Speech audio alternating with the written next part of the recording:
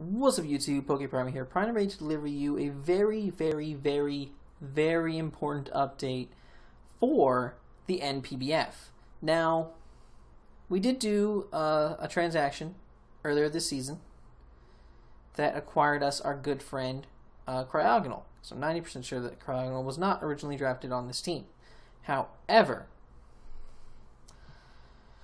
there were a few transactions made by other teams that uh, sparked my interests. See, um, the Parma Poipoles got a new coach, and they dropped a lot of their team, and that left uh, a Mon available that was necessary for me. And then also recently, uh, the Mon that was the catalyst for this. Now, I was thinking about it at this point when the when the certain Mon was dropped, and we'll get to it eventually. But um, then my good buddy James uh, of the Memphis Brave Birds he decided to drop his Gothitelle. Now, for those of you who don't know, um, in our league, uh, Gothitelle is listed as a tier 5 because we base our tiering off of Smogon. Uh, like, well, we, we had our tiers based off Smogon whenever we made the tiers. I don't remember when it was that these tiers were made, but um, we made those te- we, the, the tiers were made a while ago, and uh, Gothitelle was in PU because of the fact that in OU, uh, in most tiers actually, Shadow Tag was banned, so you could basically only use um, competitive.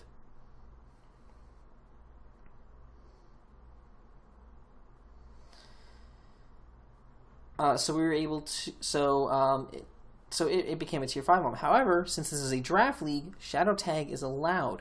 So basically we have like a, a shadow tagmon in tier five, just chilling there.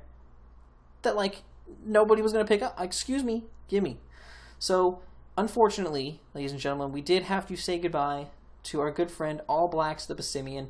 Uh, he put in a lot of work for us uh, in that one game that we brought him to, but uh, he just didn't seem to fit in a lot of the matchups, and unfortunately, Passimian is going to have to uh, get benched uh, permanently onto the free agency market. So, um, goodbye, buddy. It's been a good time. But we picked up Aesthetic, the Gothitelle, with access to Shadow Tag. This thing is going to be such a monster for our team.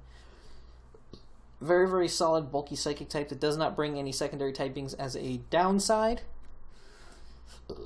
So we can have that bulky psychic type uh, to use uh, in whatever way we see fit to wall any fighting type possible. Especially since we have Shadow Tag, we can trap those fighting types as well, um, which is really, really, really good.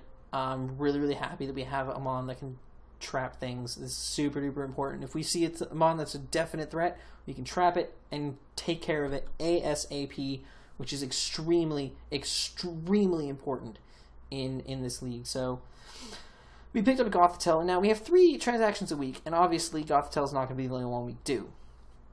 Because if it was, then that would be stupid, because then we would have dual psychic types and we just wouldn't have a lot of roles filled. So, uh, we actually do decide to get rid of our Bronzong, because Bronzong, like, as great as Bronzong was, um, you know, we can get other, we can get another rocker easily in free agency. We can get another steel type in free agency. I'm not too worried about. I wasn't too worried about that. Uh, we did just get another psychic type. Um, it does lose us a ground immunity, on our team, but realistically, like looking at our team, even after the swaps, like we already have a ground immunity in Rotom, and a lot of our team's very bulky, so it can take ground type moves. So I'm not super worried about this.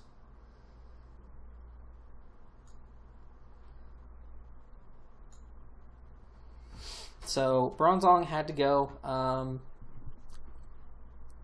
and to replace it, um, I mentioned the Parma Poipoles uh, having, you know, the the replacement, uh, Blair and his Kokomo Kokomo Komoos, uh, dropping a bunch of mons, replacing a lot of things. One of the mons he got rid of was discount the Sill Volley. Bruh. We have access to all the types.